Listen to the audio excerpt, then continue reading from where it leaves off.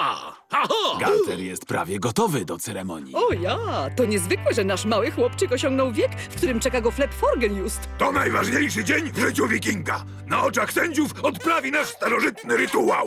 I jeśli zda, przestanie dłużej być chłopcem i stanie się wikingiem.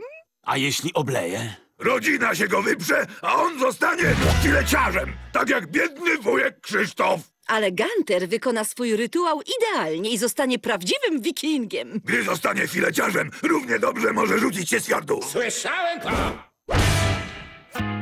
Z radością powitamy w naszej rodzinie kolejnego dorosłego wikinga. A nie fileciarza. Na pewno sobie poradzisz. Znaczy nie strzelisz fileta, A my zawsze będziemy cię kochać. a nie fileciarza. Ćwicz dalej, synku, żebyśmy z tatą byli z ciebie dumni.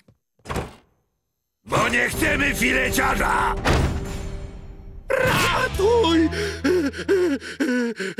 No i co ja mam zrobić? Aż cały się trzęsę, że ich rozczaruję! Wiesz, Gunter.